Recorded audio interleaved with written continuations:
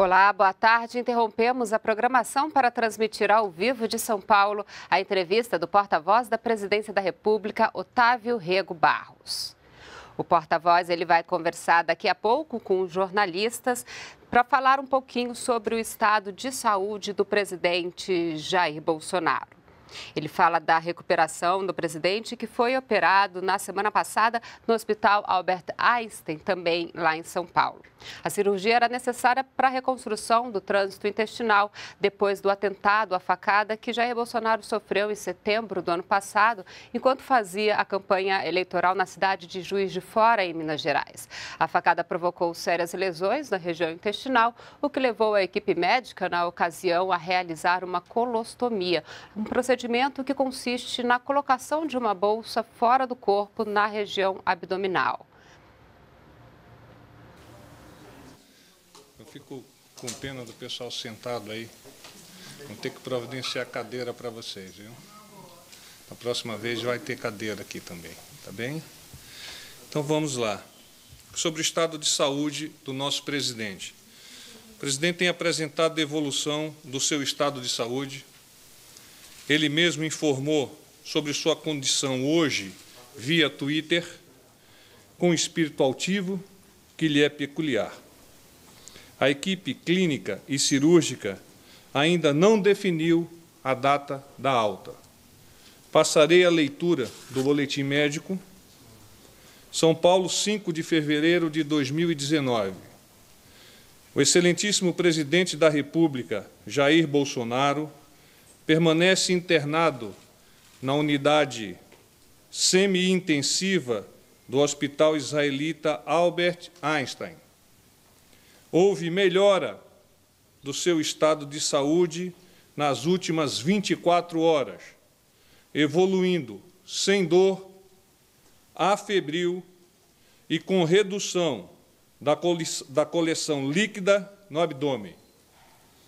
Apresentou aumento da movimentação intestinal, o que possibilitou o início de ingestão de líquidos por via oral, em associação à nutrição parenteral. Os exames laboratoriais apresentam melhora. O paciente segue com antibióticos e dreno no abdômen. Por ordem médica, as visitas permanecem restritas.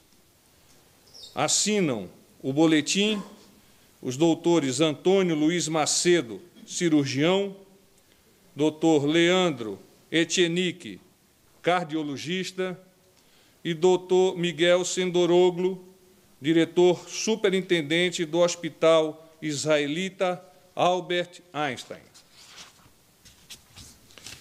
Vamos aos destaques do dia.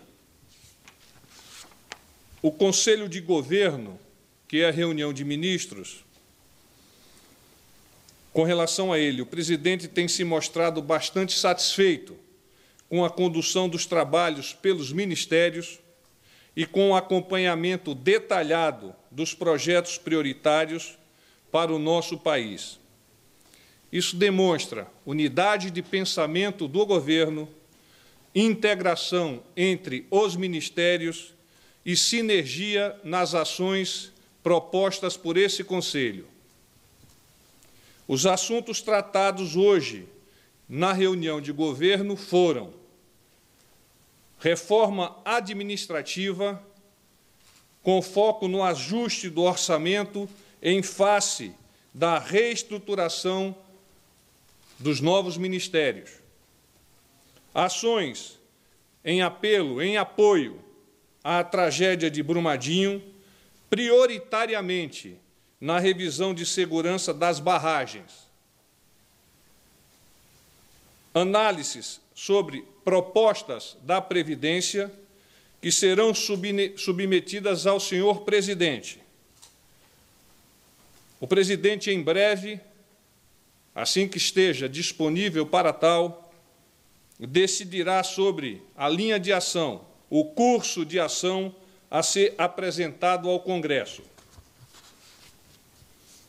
E ainda, estudos sobre a otimização no uso de prédios públicos, a fim de identificar aqueles que, não sendo passíveis de uso pelo governo, possam ser alienados. Com relação a Brumadinho, Casa Civil, o Comitê de Gestão e Avaliação de Respostas a Desastres do Governo Federal prossegue nos trabalhos de articulação dos esforços em apoio a Minas Gerais. Algumas informações. Estão sendo realizadas visitas domiciliares com busca ativa das pessoas que tiveram contato com a lama na região do Parque Cachoeira e do Córrego do Feijão. O objetivo é identificar possíveis sinais de contaminação e orientar as pessoas quanto aos cuidados que se deve tomar com alimentos e produtos oriundos daquela região. Então, é uma ação do Ministério da Saúde. O programa Saúde da Família, de Córrego do Feijão e de Casa Branca, está funcionando com médicos, enfermeiros, técnicos de enfermagem e psicólogos em regime de plantão para atender a população naquela região. A previsão é de que a pluma de rejeitos chegue bastante diluída ao reservatório da usina hidroelétrica de Retiro Baixo. Então, é uma ação do Ministério das Minas e Energia eu abro aos senhores a possibilidade de me arguírem caso achem necessário. General, tudo bem? Leandro Estoliado, Jornal da Record. Como vai, Leandro? Tudo bem. É, tem uma pergunta. É, com a melhora do presidente, é, volta a se cogitar a possibilidade dele receber visita de ministros e do vice-presidente aqui? Cogitar-se é uma possibilidade. Não obstante, o corpo médico ainda advoga que ele deve manter-se em estado de repouso para que a evolução, eh, a curva de evolução positiva possa configurar-se nos próximos dias. Então, existe... existe a possibilidade. As ainda estão restritas, né? As, as visitas, conforme o boletim médico, se mantêm restritas. Boa tarde. Uh, a introdução de líquidos na dieta começou hoje ou começou ontem? E exatamente que líquidos são? Água, suco, algum coquetel com nutrientes? Ontem ele teve a primeira ingestão de líquido e hoje, efetivamente, mais dois copos. São copos pequenos de 20 ml.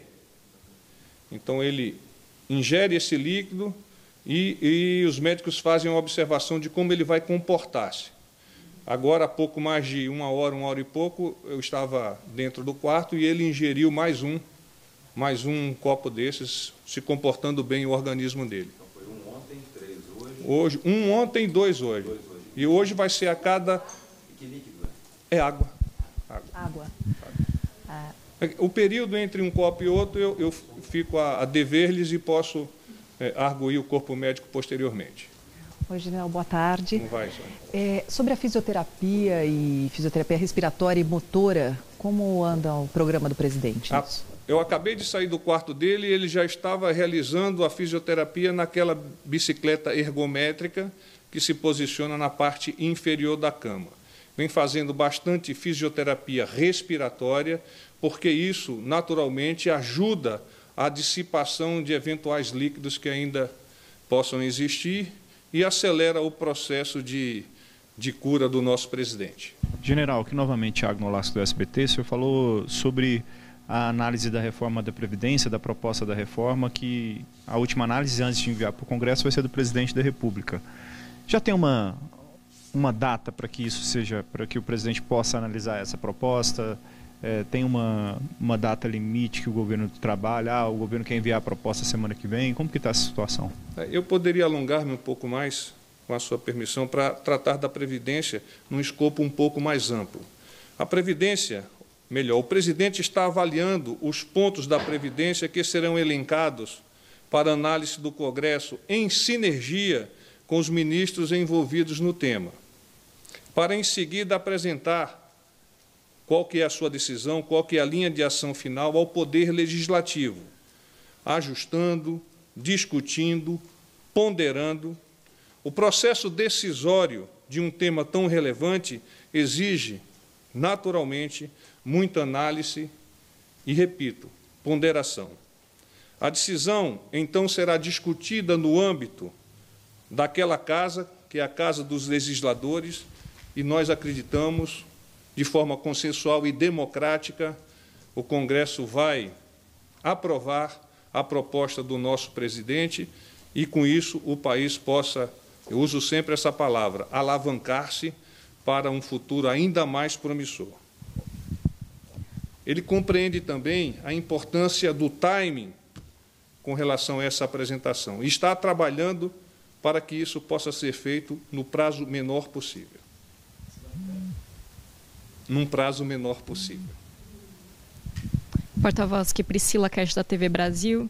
É, como vai? O que foi essa melhora nos exames? Em que consiste isso? Perdão?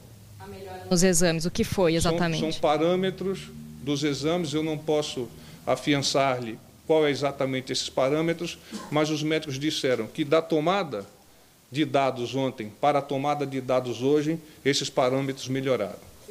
Falou em leucócitos e aumento de leucócitos, Sim, eu posso é, é, promover para você a informação sobre especialmente qual das, dos exames melhoraram. Mas não adianta pontuar um exame e outro. Então é um conjunto, sobe um, desce outro, de forma a proporcionar a melhoria do estado geral do presidente. De quadro infeccioso, então, não existe mais? Ou como está? Como eu disse, eu preciso checar quais são os níveis desses exames que foram levantados, mas tudo indica que sim.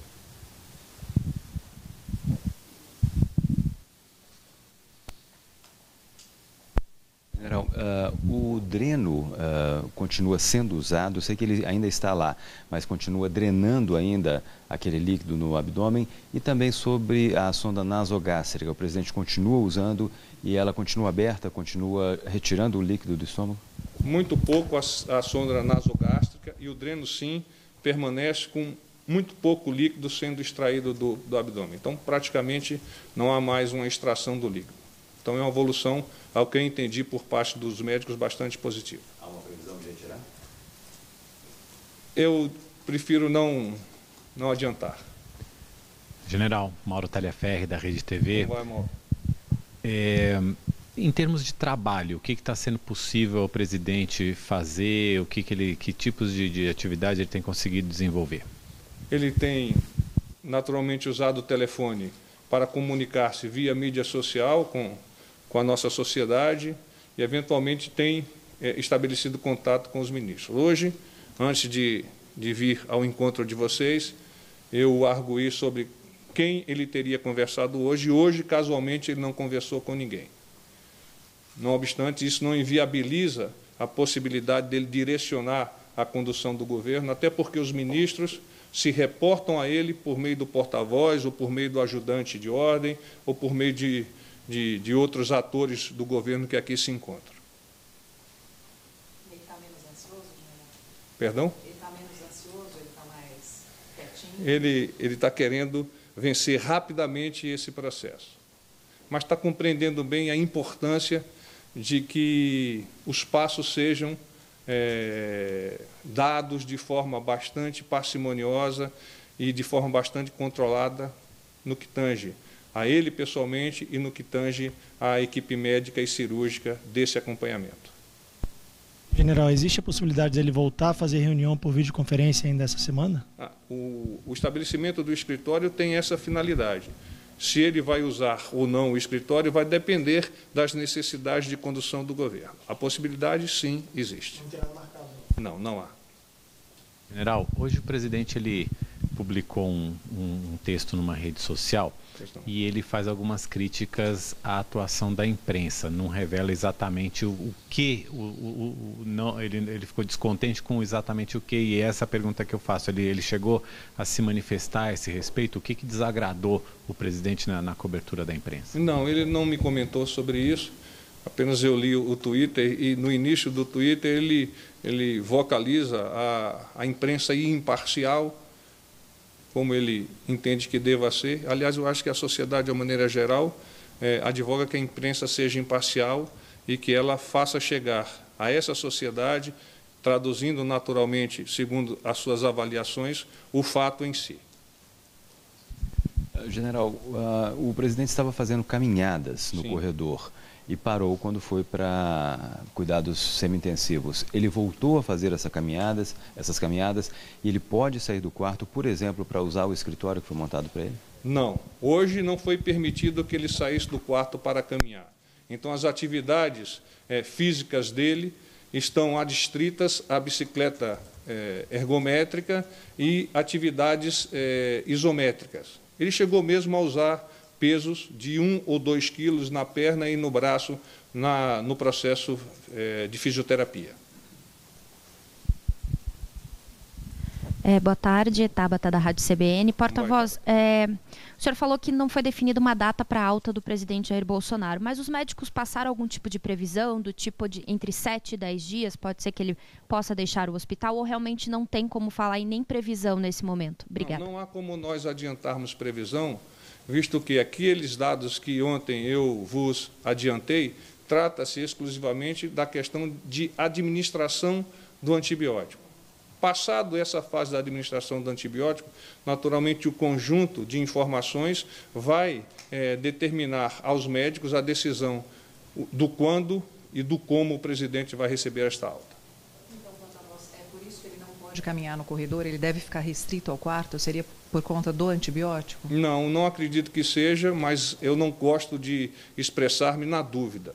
Eu prefiro é, consultar os médicos sobre a razão específica de ele não ter autorização para iniciar esse processo de caminhada. General, o que mudou na rotina dele? Ele estava na internação e passou para o semi-intensivo por conta daquela, daquele estado febril. O que, que mudou na rotina dele indo para a semi-intensiva? Nada. Continua a mesma coisa? Nada. O protocolo do hospital advoga que deve o estado de saúde dele ser considerado um paciente na unidade de terapia semi-intensiva, mas ele se mantém no mesmo quarto, com os mesmos equipamentos e com os mesmos procedimentos. General, ah, esse episódio da formação desse líquido, essa intercorrência que levou a uma piora no quadro geral, que agora tá, melhorou, os médicos consideram isso normal, num caso como do, do presidente, ou isso preocupou um pouco os médicos? O episódio do líquido está dentro dos aspectos esperados para uma cirurgia como essa. Tá bem? Paz e bem. Obrigado. Obrigada.